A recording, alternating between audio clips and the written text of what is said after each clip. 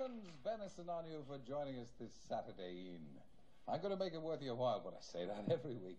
My first guest, when a lad, he used to say to his peers, When I grow up, I'm going to be a star. I'm going to star at the Palladium.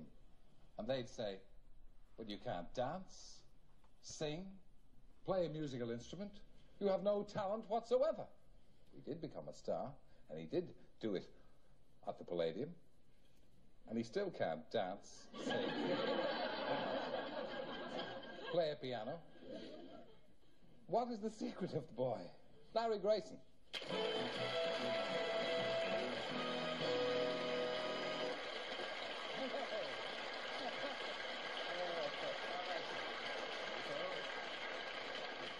It's always a pleasure to see you. And to see you, Terry, it's a, it's a joy for me because I'm not stuck up in a box up there somewhere with five other people. We know we never get to talk like this, do we? When I do Oh. blankety blank with you, I'm up there with Beryl Reid or somebody, and tonight I can talk to you. What a joy it is. normally I have to share you with others. Yeah. And of course I don't like doing that. No, I did the truth. You're looking ever so well. You look, you look, Thank you. I, I've been watching. returned the compliment? Pardon? Is it the Torquay air? I think doing- it must be, yes. I've moved to glorious Devon, and I love it. It's, it's uh, I call it the Arthur Marshall country. But uh, Torquay, where you live now, it's rather hilly. How do you how do you and Arthur negotiate the hills? Well, you see, I have a tandem. And. Uh, why do you always bring such a common audience? Not with me. Are they with you? Oh. Well, anyway, I, I've got this uh, friend, and it was a guy from this tandem. He says, so I manage the hills like Well, what about Arthur? Arthur? The dog. My, my little dog? Yeah. I have a basket at the front, like, uh, you know, in The Wizard of Oz, Miss Gulch. And he sits in the front, you know, and we, we ride about. You, I mean, nobody knows because I wear a fur hat. They think I'm Coral Browne. You love all those those Coral Brownes and Oh yes, I love. Did you see that marvelous, marvelous thing she did? What was it called? An Englishman Abroad. It was a marvelous uh, thing on television. BBC did it so well with Alan Bates. And I wear a fur hat the same. And I went out the next morning shopping in Wellswood. That's where I go shopping. All the best people go to Wellswood. And a, an old lady, she very bad eyesight, and she said, "Oh look, there's Coral Browne." But in fact, in your early days, well, luckily you weren't taken for Vincent Price. Uh, you were. In your early days, you used to impersonate film stars, didn't you? Oh yes, that was uh, when I was at school. Um, I used to impersonate Katharine Hepburn and people like that, Bette Davis. I did it all the time, and um, I used to get the cane more often than not for doing this. Did I, you I ever was interested in, in, in anything at school, but uh, all I wanted to do was half past four to come around so I could get out and, and get off to the to the pictures, which I loved. Do you still do the No. the female stars? Uh, oh yes, of course, but but you see, I uh, I love the uh, the other channel. Don't mention it, but the other channel that shows all the old movies. Well, BBC Two. Uh, no, the other one. I, because I have all the old films on, you know, Smiling Through and The House of Rothschild, George Arliss and things like that, which I love. Don't keep laughing at me, Terry. I'm serious. It's those wonderful names, George Arliss. Mr. George Arliss, if you don't mind, he was always billed as Mr. George Arliss. And, uh, and all those marvellous films, I, I remember them all very well. Do you know, Terry, I could go into a cinema when I was a kid, and, you know, they open the door and they tell you ticket, and I could look at the screen and tell you who made the picture. Whether it was Warner Brothers, Metro-Goldwyn-Mayer, 20th Century Fox, Paramount, Monogram, GB, Government British, I could tell you. Huh. But, but, but just the look, just the film. It's funny, and I could tell also with the music. I could tell Max Steiner's music from Warner Brothers Pictures and uh, Metro Goldwyn Mayer. I could tell right away. Was it the female stars that particularly Oh, yes, of course to it was, yes. I mean, look at the Joan Crawford coat I'm wearing now. she always had shoulders like this, Joan Crawford. Don't stare. were in America last, you were, you were confused with Myrna Loy. Oh, yeah. Well, that's a lovely story because Jack Klugman, who's a great mate of mine, you know, Quincy, you know, all those lovely things he does. And uh, I, he was coming to take me out to his place at Malibu. So I was in the hotel and uh, this, uh, the, the, door, knocked my door, uh, and I went to the door. And this, this bellboy stood there, you see, this basket of fruit and the, the ribbons and everything. And I said, do come in. Come in. I was in one of my moods. Oh, exhausted. Well, he came in, and I put it down there, and I said, "Don't go. Wait a minute." I was acting, you know. So I took the. That sounds very like you. Did you really? you know me so well. And I got the card, you see, and I said to this this boy, "Isn't this wonderful?" all this, and my picture hasn't been released yet. and he went. And I looked at him. I said, "You don't know me, do you?" He said, "No, sir." I said, "My name's my name's Myrna Loy."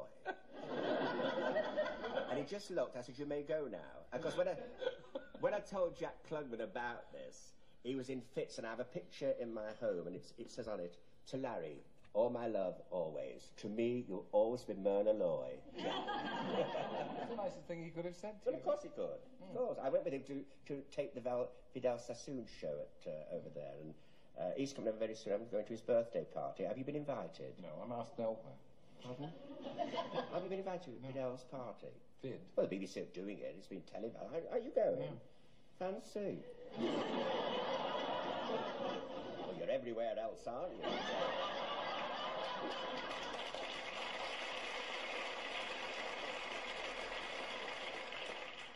Would you like to have been a Hollywood star?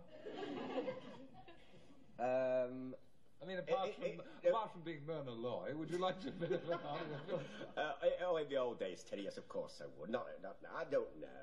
I suppose the films are very good today, but because they're not like they used to be. But they are to other people growing up and everything, you know. But to me, I love the old movies. You see, I can't bear all this getting into bed with everybody. And But uh, you don't have to get into bed with everybody. never, everyone. never it frightens my dog. I mean, when I, you see, when you're on the television, and it starts, you see, and they're always in bed together, you know, and it's awful. Um, uh, and I don't, I'm, I'm, I'm a bit, um, I'm very broad-minded. You're Yes, I am, but but I um, I don't like things like that. Well, I Perhaps it's because I'm getting older. Oh, nonsense. I mean, the doctor. No, no, no. listen, listen. The doctor said to Well, me. perhaps you're right. No, listen. The, doc- the doctor. the doctor said to me. He said, Larry. He said, Laz. He calls me Laz. He said, Laz. he said, when you're listen. He said, when you're 39, you'll find that you'll change. And I have. That's interesting. And of course, you see, I you see, now I notice, I mean, I hate to mention my age to anyone. It's a secret, you see, like Mary Astor. And um, I find that I get this throbbing in the morning. and my ankle swells, you know, and I get, I get you see, but I, I won't give in. I, you know, I, uh, because I don't feel my age, you know. I know you do, because uh, I hear you in the morning on the radio, and sometimes I feel for you. Well, I'm not there. You are there, Willie. What has this got to do with your dog throwing up whenever there is sex on the television? I don't know. I can't think what made me say that. You see, I wander a little bit now. Have you noticed that? I do wander a little bit. You're very young to be wandering because you're just 39, aren't you? I mean, That's the nicest thing you've said to me, Terry. That's why I always come on your shows, you see, because you say the nicest things. You have such a lovely smile as well, I was told to say. So, I'm sorry you're leaving blankety blank and all that.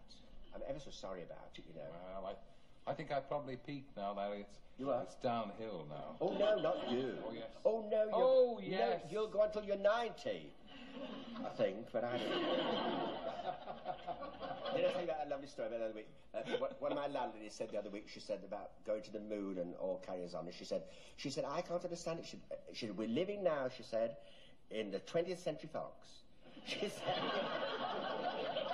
she didn't know. She thinks it's the 20th century fox we're living in. When you went to Hollywood, was it a disappointment for you, or was it as you expected it to be, all glamour and excitement? Well, of course, all the great ones have gone, but no, I loved it. I, I went to the Chinese theatre, put my hands in those things, you know, where Nelson Eddy and Eleanor Powell. he had small hands, Judy Nelson Garland. Eddy. Oh, Nelson Eddy. how do you know? Well, he, he was known for his small hands. Who told you that? Jeanette He was a very big man. He had very big hands, did Nelson Eddy? I think. Yes. It was Jeanette MacDonald had the small hands. Who told you? I don't know where you got your information from. I, I'm, I'm riddled in, in uh, Hollywood. What's he doing there? I mean, I'm riddled in Hollywood and all that. And it, Nelson Eddy never had small hands. I'm surprised if you say anything like that. I don't think he had small hands. So that's what you did in Hollywood. Just put your hands in the Oh cement. no, no, no, no! I went everywhere. I loved it all. I, it, it was, uh, it was super. I mean, to be there Uh, to me, of course, it's all gone, but to, be there uh, and uh, walk down the I suppose a man of your age, you see, that's what it would be. Give You me an age, remember, you remember all the, the old silent movies, the black and white movies, and that. that, that Yes. We don't, do we? I, don't- I remember that I saw Trader Horn, the the uh, original, uh, and uh, Jekyll and Hyde.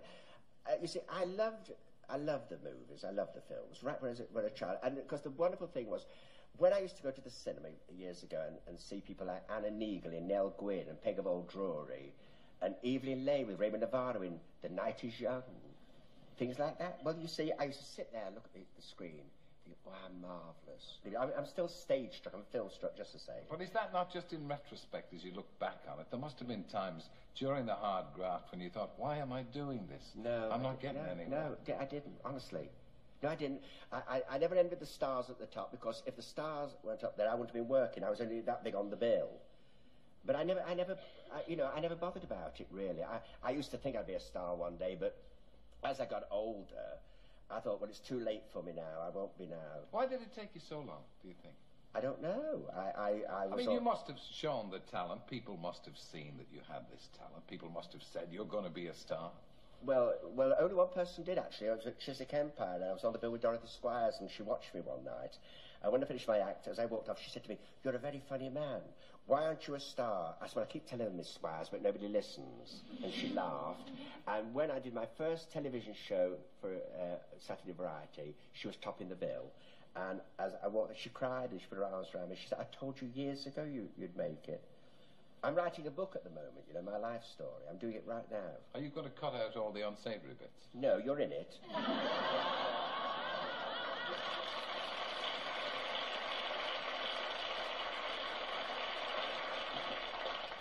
I'm a toucher as well, you know. I asked uh, Matthew Kelly this in a previous program. Who's that? A, one of the newer Oh, I see. You wouldn't know him. No, I don't. And um, I was like, he, he tends to be a bit like that sometimes. Oh, does he? What a shame. He'll grow out of it. Let's hope so. But, but I was asking him, and I wonder, can you ask, why do you think a British audience reacts so well to what, what's known as camp? To that kind of the limp wrist. Well, of course, the audience is a camp that come and see us. You see, um, you see it, it's, it's very funny. Like, there's two, that lovely story about two ladies sitting on a bench in a park, and one lady said, uh, They say he's a camp comic. She said, Well, yes, she said, I've seen him at Butlins twice. It's things like- you, you, you can't, you can't define it. You see, years and years ago, there was marvellous reviews in London with Hermione Gingold and Baddeley and Henry Kendall, Douglas Bing, wonderful Douglas Bing, and it was all that. Um, it was all West End, you see, all very camp and everything. And I took it out to the to the masses. Yes. You know, they used to laugh at me and they say, "Oh, you must go and see Larry Grace at the theatre because." Well, they used to say that. You say, "Go and see that chap at the theatre with the chair." He said, "Shut that door," and he talks about aches and pains and his legs swelling. But how you've played some very tough spots. Very. In that kind of. How, how does a, a sort of working, tough, say, a stevedore audience, or a Dockers audience, well, how does was it react to that? to me, Terry. You know, they say like, "All right, Larry, great, my mother loves you." All right, yeah. they, they laugh. You see, like, they go, "Oh, laddie, what a gay day," and all that, and it's done like uh, it's done for fun. I, I don't offend anybody. I don't. I, I hope not, because because, because I'm me. I say the things I feel, and. because I'm a very loving person, as you know. I mean, the, um, because you see, the, it takes your breath away sometimes. But I mean, the- where was I? Oh yes, I mean, uh, it's um, it's me. It, it's uh, it, it's in here. You have to have warmth and be sincere in what you're doing. You see, and I believe when I get when I say I've got to lie down, I, I, I've got all limp. I do go You do limp. like. What? I said you feel like lying Well, down. I do, yes, sometimes I do. I, as I say, I do. I go like that, and, and, uh, and uh, you know, being thirty-nine, What is, to li- something. what? Why what? what is what is life to hold for you now? Well, I, I mean, I love, I love the people, I love audiences. I, that's why I love, uh, love doing the generation game because I met people all the time, like you do. I mean, you love people. I don't. But don't you? oh, it's true then. Anyway, I mean, all this. Um, I, li- I like meeting people. I love, I love uh, travelling. I love seeing people. I've always done it I think through You're my... like, you're like Rebecca of Sunnybrook Farm, aren't you? Oh, yes. I didn't know you'd remember her. Anne of Green Gables. Yes, Yes. and Shirley played the part. She was wonderful. They Bainter in white banners. You see, if I didn't know you better, I'd say that that was all artificial, but it isn't, because that is the kind of person you are. Yes, And I'm delighted you could come and join me. Thank you, Ted.